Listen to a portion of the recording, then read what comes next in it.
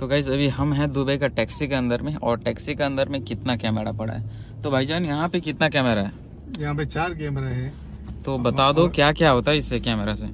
जी ये जो कैमरा लगा है ये ड्राइवर के लिए लगाया गया हम्म। है ड्राइवर क्या कर रहे हैं क्या मतलब बिहेव क्या है उसका कस्टमर के हाँ साथ? हाँ हाँ वो सब कुछ कवर कर रहे हैं। ये जो कैमरा लगा है ये कस्टमर की मतलब पूरी वीडियो बनाता है। अच्छा। उसकी वॉइस रिकॉर्ड होती है जो यहाँ पे लगाया गया हाँ है हाँ अच्छा। ठीक है?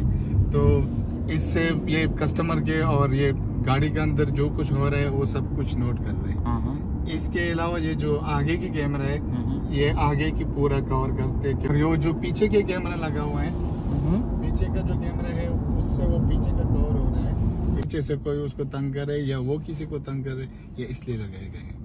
इसके अलावा ये कस्टमर को बेहतरीन सेफ्टी के तौर पे यूज़ होते हैं।